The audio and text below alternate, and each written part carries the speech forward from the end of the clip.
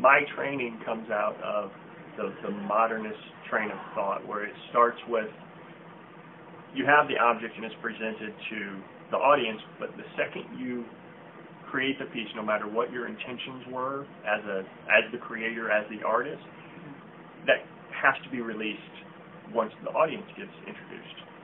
Because they're going to come to it with a new set of biases, they're going to come to it with a new set of expectations, what they think the piece is actually about. Mm-hmm. So if you had this grand subject matter uh, for a piece, once you put it in front of other people, that kind of all goes out the window. It becomes something new, and now they can experience it on their own terms as well as on the terms of the artist. Okay.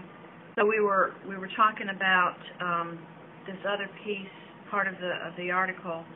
Um, in our top art artographical research, time is singular. Is, is the comment that was made. Um, singular refers to the complexities that are assembled and contained with one. And you had some comments about that.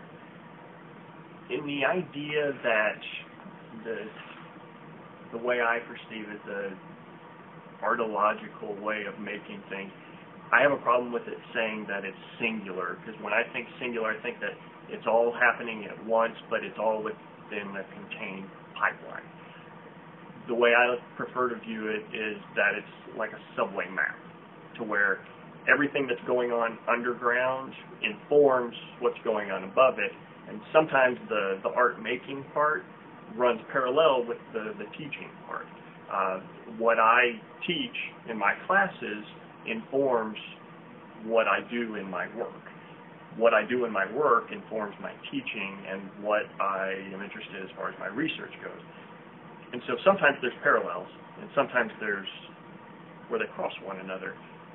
It's not just one giant experience together. There's sometimes they are separate, and sometimes they are together. And the challenge is to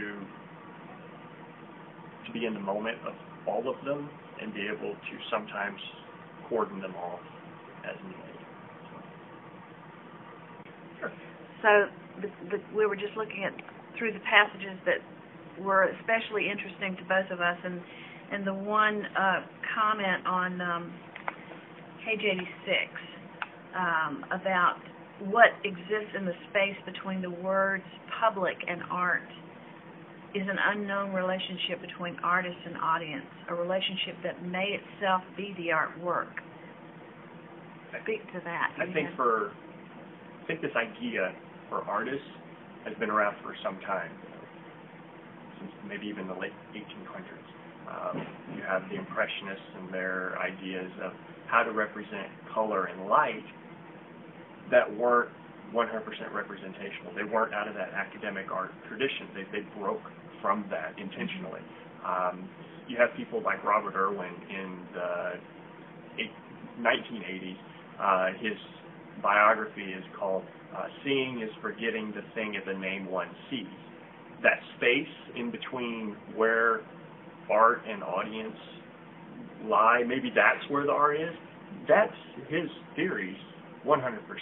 Uh, he would say that it's not,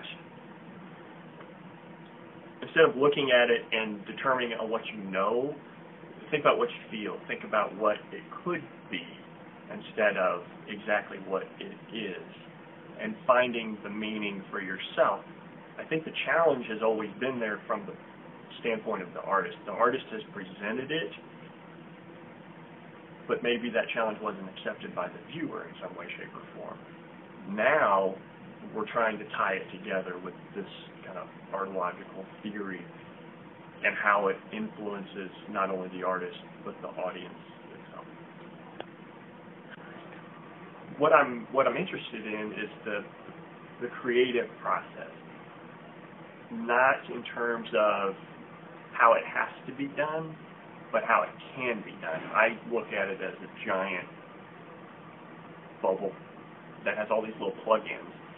And most people don't accept, we talked about challenges multiple times, most people don't accept the challenge of trying to find the plug that they fit into and how they can express themselves my brother says, well, I would really like to be a sculptor. Mm-hmm. but he's like, but I'm not good. Well, maybe sculpture isn't your creative outlet. Maybe it's something else, and you could still be find that creativity. I think it's almost universal. I think it can be used on every level, no matter the person, it, as long as they're willing, as long as they have that willingness to seek it out, whether they're just appreciating the work, they're making the work, or they're interacting with it. That's that's the core of kind of this whole thing. It, it takes that willingness to be part of it. Thank you, Josh Cross, my friend and colleague, um, department chair of the art program here at Pfeiffer University, um, and artiste. Thank you. My pleasure.